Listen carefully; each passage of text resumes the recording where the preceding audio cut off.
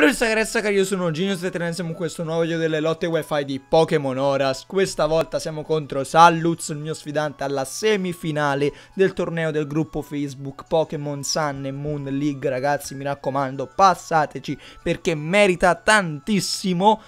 Lo staff è veramente ottimo, fanno anche giveaway qualche volta. E quindi entrate e sfidate tutte le palestre. Comunque io porto lo stesso team della scorsa volta con l'unica differenza che al posto di Gigalit, dato che lo facevo esplodere e basta, ci ho messo il muro difensivo d'erba per eccellenza, ovvero Tangroot, mentre il nostro avversario ha praticamente un anti-team, perché ha Nidoking, Swampert, Pacirisu, Politod, Zumaril e il nostro bellissimo Hitmontop che abbiamo anche noi. Hitmontop mi fa fuori Snorlax. Con Azumaril mi fa fuori Camerapt, stessa cosa vale anche per il grandissimo Swampert. Pacirisu può dar fastidio a tutti quanti perché sono qui e Nidoking invece mi sciotta malamente Tangrowth. Comunque ragazzi andiamo subito a vedere la lotta.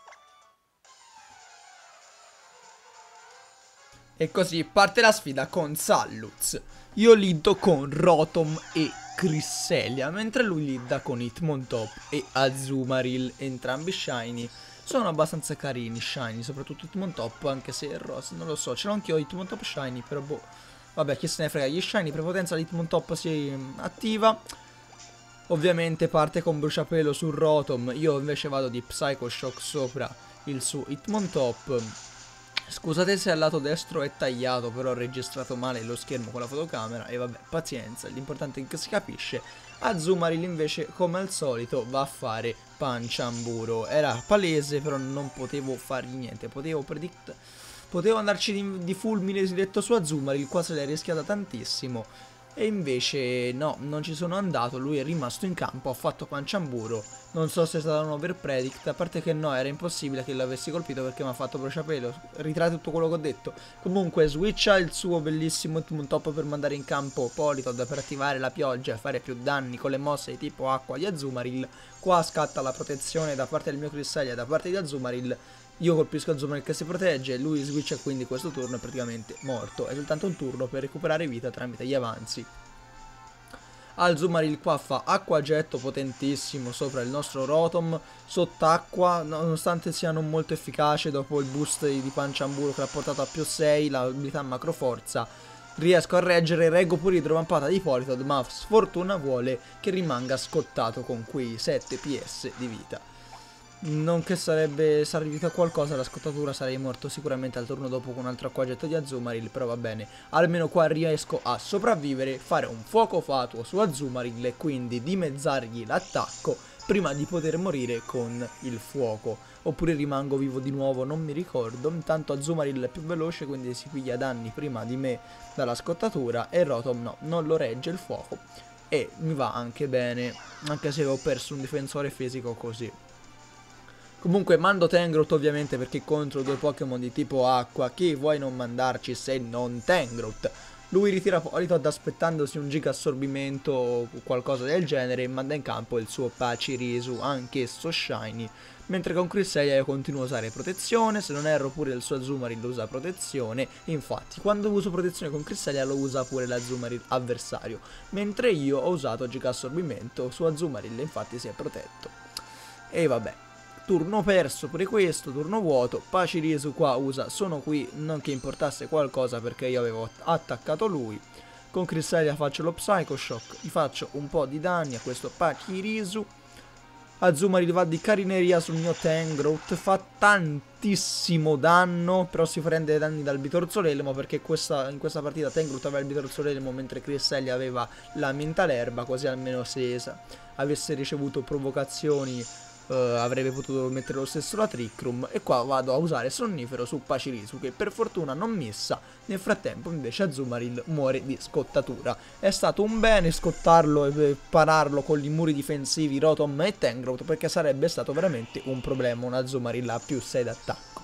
Qua entra lo Swampert Rosa, lo Swampert Shiny, io ritiro Tangrowth perché ritirandolo Tangrowth aumenta la sua vita del 33% grazie, grazie all'abilità Rigenergia abilità molto utile che fa di questo Tangrowth un mostro difensivo allucinante. Però difesa speciale fa cacare, quindi muore con un lanciafiamme secco proprio. Qua Swampert Mega Evolve e protegge per avere il suo boost e il suo nuovo Velox, dato che c'è la pioggia ancora. Pachirisu continua a dormire e io qua ne approfitto finalmente per utilizzare la Distort Zona. Così, la, la pioggia intanto smette, Azum eh, Pashirisu recupera vita tramite gli avanzi, manco si vede la vita, madonna mi dà un fastidio altissimo che non si veda tutta la vita dell'avversario di là.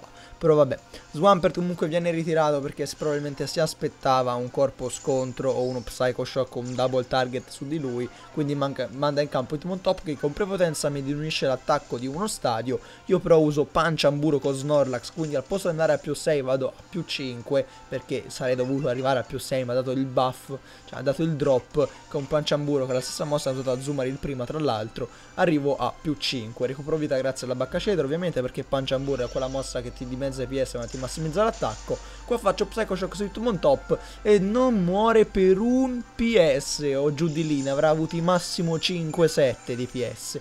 Pacirisu invece continua a stare in letargo, continua a dormire. Crisselia qua lo switch perché mi aspettavo un bruciapelo su di lui oppure Ah no, qua lo switcho Cristallia perché questa, questa è la mia strategia. Io con Hitmontop vado, faccio prepotenza, proteggo il mio Snorlax e poi al turno dopo faccio bruciapelo sull'Hitmontop, così almeno Snorlax mi rimane vivo, non mi dà problemi con l'Hitmontop e ciao. Pachirisu qua usa sono qui inutilmente perché io ho switchato il protetto quindi è inutile mentre Hitmontop va diretto proprio di zuffa su Snorlax quindi avevo predicato bene per fortuna siamo sotto Trick Room e quindi sono più veloce e adesso quindi si aspettava il bruciapelo sull'Hitmontop e lo ritira perché sarebbe stato utile contro il mio Snorlax. E rimanda in campo Politod. Madonna ragazzi Politod è una spina al fianco in tutti i team. Anche per rimettere la pioggia Polito l'ha messo qua, perché dopo poi sarebbe entrato di nuovo con Swampert. Bruciapelo quindi va a finire su Dipolito, io non potevo rischiarmene a predictare perché sennò avrei perso uno Snorlax a più 5 che guardate qua, shotta Pacirisu, penso, difensore fisico, non lo so, intanto si è andato lo scoiattolino via.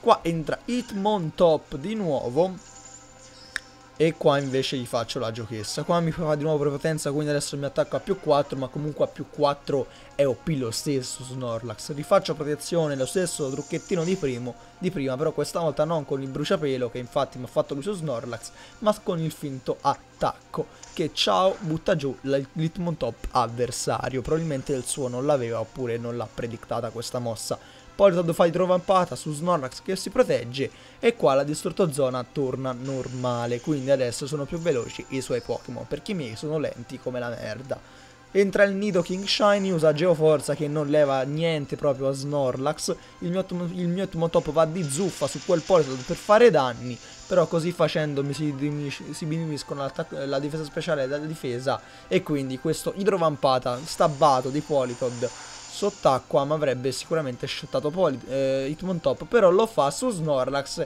e guarda caso un'altra scottatura quindi il mio attacco adesso è a più 2 basta se non lo so contato bene e quindi non riesco a shottare quel Nidoking io se avessi ammazzato quel Nidoking probabilmente la partita sarebbe andata in modo diverso Comunque, Nidoking viene switchato, entra di nuovo in campo Swampert, Hitmontop usa Zuffa, lo faccio sullo Swampert questa volta perché prima c'era Nidoking, devo buttarlo giù, anche se in realtà resisteva il veleno se non erro.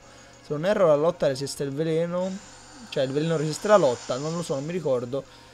E qua invece, come dicevo prima, Hitmontop crepa dopo un idrovampata potentissimo del Politod, che però si prende pure un corpo scontro di uno Snorlax scottato però a più 4, quindi a più 2 e basta e avanza per farlo fuori, ma Snorlax muore di scottatura ed è il mio secondo Pokémon che va giù per via della scottatura.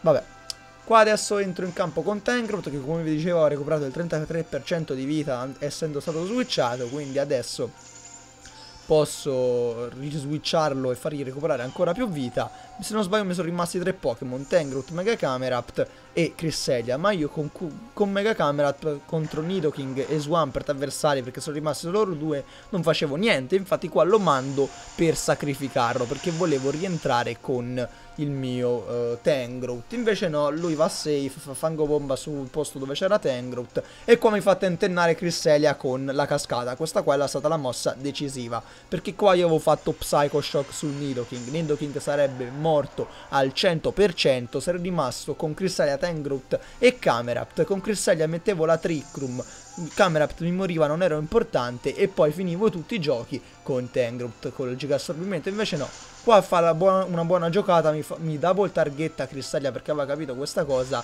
Me la sarei potuto giocare meglio, qua avrei potuto proteggere Crissalia e far fuori Nidoking con un Earth Power e poi rimanere 3 contro 1 e invece no. Ho avuto un po' di sfiga, un po' sono stato scemo io, sono rimasti Tangrowth e Mega Camerapt, Nidoking mi sciotta malamente Tangrowth con questo fango bomba perché come vi dicevo prima Tangrowth è buono in difesa fisica ma in difesa speciale muore subito. E ovviamente una cascata 4 per su Camerapt non la piglio per niente bene. E quindi finisce così la battaglia, molto combattuta, molto bella.